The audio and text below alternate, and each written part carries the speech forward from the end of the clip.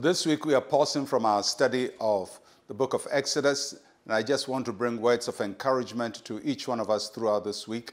As you know, our world has gone through a lot of difficulty from the COVID uh, pandemic of the last two years, and now there is a war uh, out there in Eastern Europe that is creating a lot of panic and anxiety for many people. So, uh, just to encourage each one of us as we face these turbulent times, that God is faithful.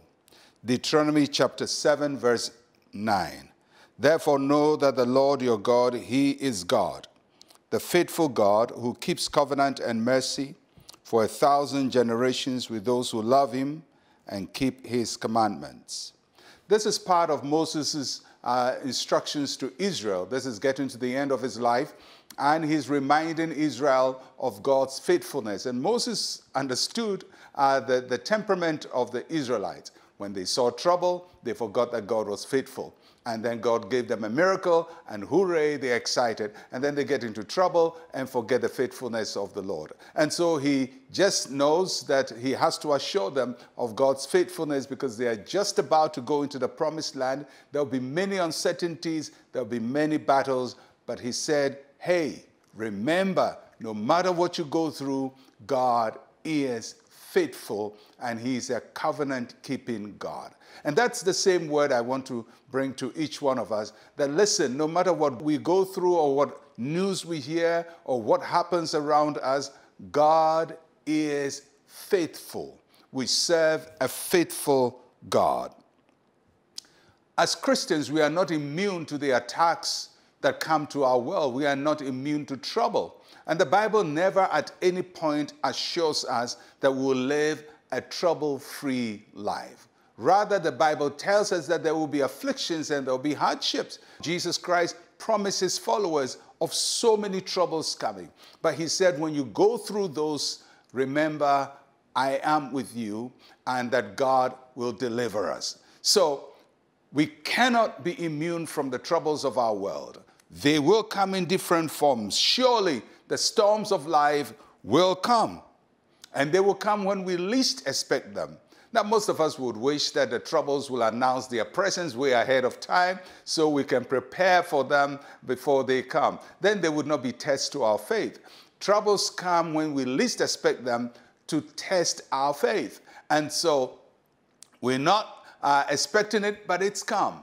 But God is faithful.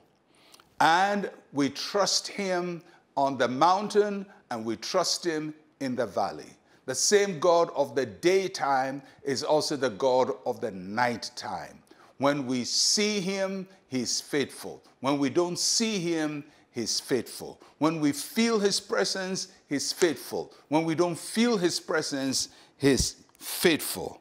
And that's the reality of our walk with God. It's a walk of faith. We walk by faith and not by sight. So there may be things turning topsy turvy all around us. There may be turbulence all around us, and we don't know what is at the next corner, and we don't know how things are going to pan out, but we know God will remain faithful in the dark and in the night. So I want to just assure you don't lose control of your faith in God, and don't lose control of your own assurance of God's faithfulness. He's a covenant keeping God. Your job is to trust Him that He'll remain your constant in an ever changing world. He will be there when nothing is there, and He will be with you, and He will keep you, and He will give you the victory. So remember the faithfulness of the Lord this week as you go throughout the week and all the activities that you will be faced with. Let us pray. Say with me, Heavenly Father, you are a covenant keeper. I thank you, Lord, that in all situations you remain faithful. In Jesus' name, amen. We serve a faithful God. Trust Him, and He'll pull you through. I'm Pastor Mensa Otabil. Shalom, peace, and life to you.